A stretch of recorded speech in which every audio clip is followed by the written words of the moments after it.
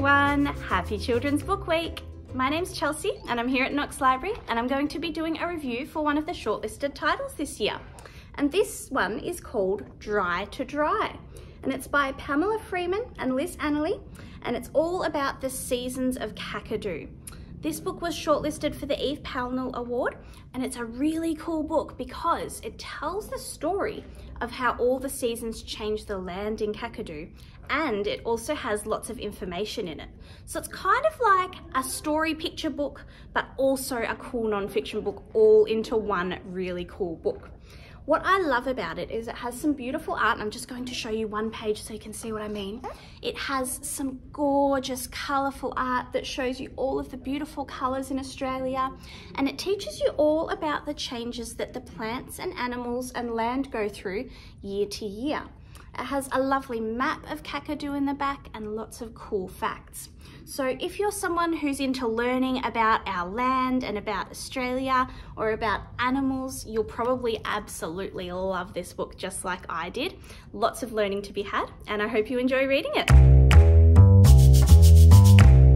Today I'm going to be doing a review of one of my favourite books that was shortlisted this year. This one is Aster's Good Right Things it's written by the wonderful Kate Gordon uh, and it was shortlisted by the Children's Book Council of Australia for Book of the Year for younger readers. Now this book is all about a young girl called Aster and she has lots and lots of worries and anxieties about the world and moving through the world and who she is. She's also contending with some pretty tricky stuff at home because her mum left her family recently and so she's learning how to deal with that one of the things that happens is Aster's brain tells her that she has to do at least one good right thing every day. So she has to do a good kind favour for someone every day, otherwise they might not like her anymore. What I love about this book is it's a bit sad, but it's also really uplifting and heartwarming and it's really accepting as well. So it teaches us that everyone is having their own struggles even though they might look absolutely fine on the outside.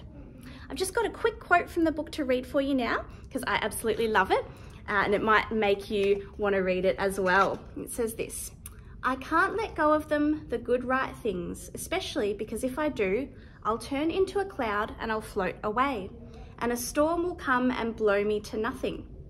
The good right things are the most important. One day people will notice that I'm doing them. One day people will see what I do and they will see me and then they will like me, or at least they will stop leaving me. So it's a bit sad, but you can see it's super, super beautiful and 100% worth the read. I would absolutely recommend it to anyone who is interested. I hope you enjoy reading it and we'd love to know what you thought if you do. We'll see you next time.